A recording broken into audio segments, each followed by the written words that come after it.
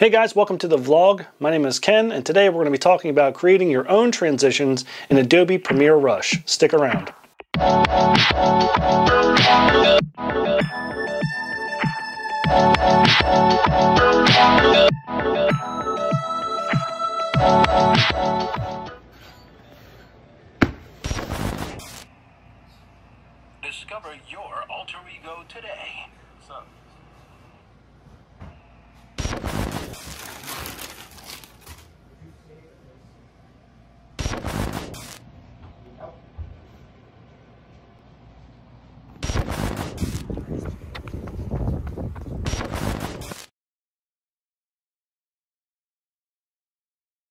The video you saw earlier was something I put together for the Brooks Run Happy team on the release of a new shoe. The Brooks Levitate shoe is all about your alter ego and what you transition into. I thought it would be a great idea to incorporate a transition effect, to use it in the unboxing of the shoes, and then uh, to reveal myself running later on in the video. The glitch transition that I use is not an option inside of Adobe Premiere Rush, so I had to make my own. Here's how I did it. Okay, so to make this real easy, I'm just going to let it play and I'll do my little narration over top of it. We can both watch it together. So all I'm doing here is organizing my clips the way I want them. I'm cutting them up to kind of get them in the order that I would like them to be in. And I'm going to really look back and see if these are the transitions that I want to focus on. Anyway, I have my two clips set up just the way I want them. And I'm cycling back to make sure this is the transition I want.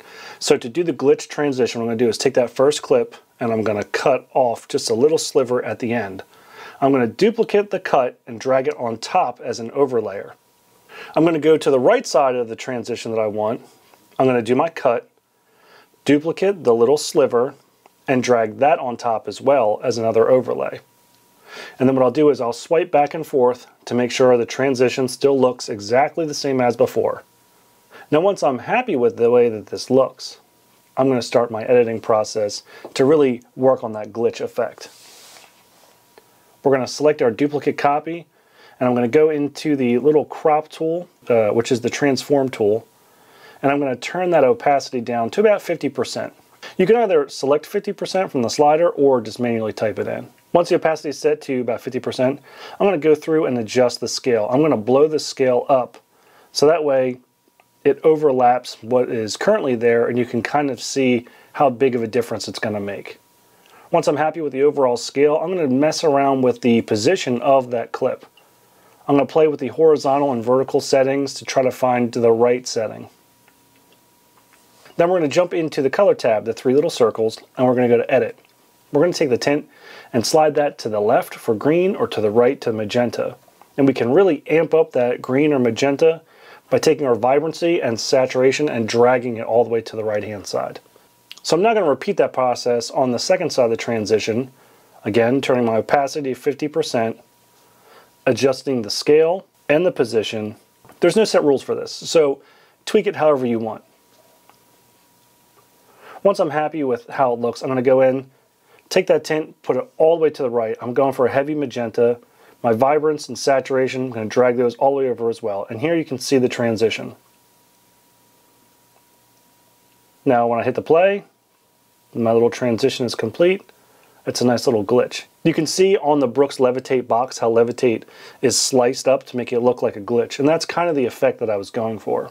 So right now I have different glitch sound effects. So what I'm going to do is I'm going to pick two that I like. One's a short glitch sound and one's a longer glitch sound. And what I'm going to do is slice those up, separate the video from the audio, and then drag that audio underneath my transitions. One of the things I noticed in Adobe Premiere Rush is that if you overcomplicate things, sometimes the app will drag for a little bit or some of the things will lag. So what happened here was I was trying to find the right audio clips that I wanted, and I guess from scrubbing a lot, it kind of just threw things off and locked up on me. So it'll happen from time to time. I got my glitch sound, I separated the audio, and I drag it underneath to where my transition is going to be. Now I'm going to go back and clean up and get rid of those extra sounds that I don't need. I'm going to place my glitch effect right in between the two, play it back, not too bad. So for the next glitch effect, what I'd like to do is make it a little bit longer than just two cuts. So what I'm going to do here is on the right and left hand side of the transition, I'm going to make two cuts, two duplicates up above as my overlayer. on the left hand side, two cuts and two duplicates on the right hand side of the transition. For this one, I did this on purpose because what I want to do is give it a real longer glitch effect. So here you can see I'm just cutting, duplicating, and shuffling around to overlay those layers. So now I have one on the right one on the left, and now I'm going to go back and duplicate that again. So now I have two on the right and two on the left. And anytime you cut and scrub, you want to go back Anytime you make any cuts and duplicates, you do want to go back and scrub just to make sure that transition is pretty seamless.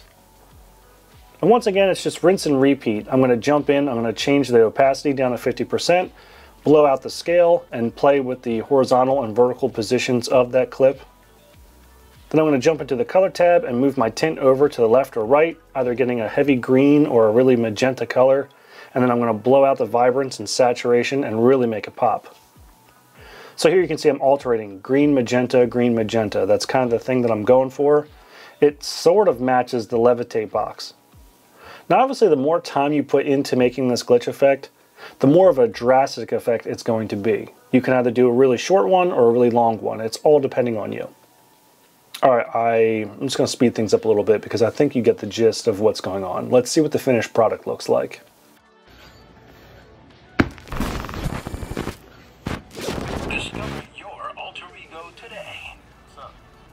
And there you go.